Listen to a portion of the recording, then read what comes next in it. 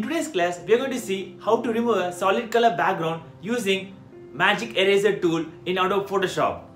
We have already discussed how to remove a background from an image. I will share the links in the description. Please check that too. So you can ask me what is the different in this video. The difference is we are going to use a new tool and we are going to remove a solid color background. So without further delay, let's start.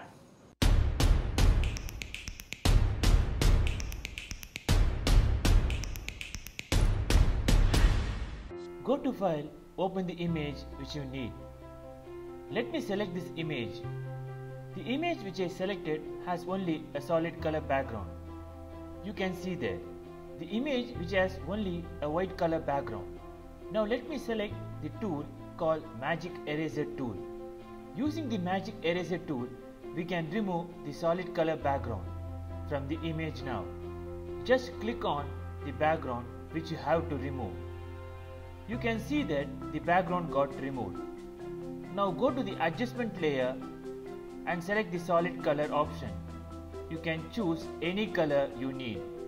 Now select the layer and drag and drop below the image layer. Now select the image layer and press Ctrl plus T for transform option. You can place the image anywhere in the document. This is how we remove a solid color background from an image using Magic Eraser tool. I hope the video was useful. Thank you.